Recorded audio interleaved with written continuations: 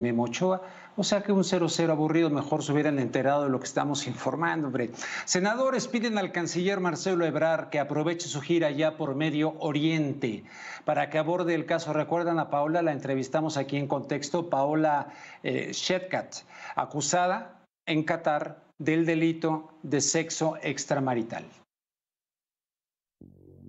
La mexicana Paola, quien fue sentenciada a siete años de prisión y 100 latigazos tras denunciar un abuso sexual en Qatar, demandó a la Cancillería medidas de protección efectivas para la audiencia a la que está citada la próxima semana. Respaldada por el vicepresidente del Senado, José Narro, y la presidenta de la Comisión de Relaciones Exteriores Asia-Pacífico-África, Paola pidió al canciller Marcelo Ebrard que como parte de su agenda de trabajo en Medio Oriente, aborde su caso con las autoridades de Qatar. Sería un despropósito que se hablara de fútbol y se hablara de deporte, se hablara del evento deportivo más importante del mundo, sin siquiera tocar el hecho de lo que me pasó a mí, una persona que trabajaba para la organización de este mundial. Paola llegó a Doha en febrero de 2020 para trabajar para el gobierno catarí en la organización del Mundial de Fútbol 2022. El 6 de junio del año pasado fue abusada sexualmente y al acercarse a denunciar los hechos pasó de víctima a imputada por el delito de sexo extramarital. Al buscar el apoyo de la Embajada de México se encontró con un servicio exterior ineficiente que no supo asesorarla.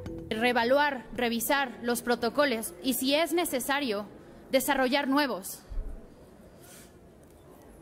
Porque no podemos permitir ninguna vez más que una mujer sea aconsejada por su propia embajada a casarse con su agresor. Porque no podemos dejar que ningún representante consular acerque a una mujer al peligro y después la deje desprotegida indefensa.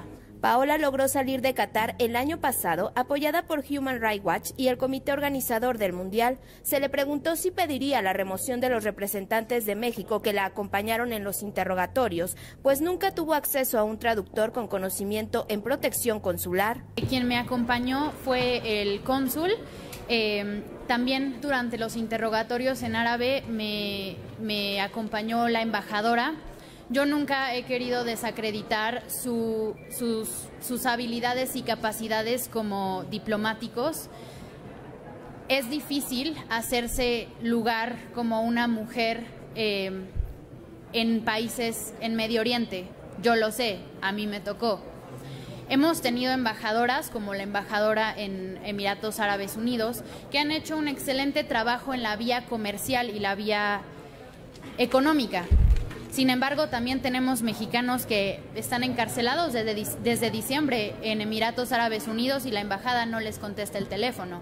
Desde el Senado, demandó que el canciller cumpla con la palabra que empeñó el pasado 18 de febrero que se reunieron para que su caso marque un cambio en la protección de las y los mexicanos en el exterior. Este caso no se limita solamente a la vía legal. Este caso tiene ramificaciones políticas.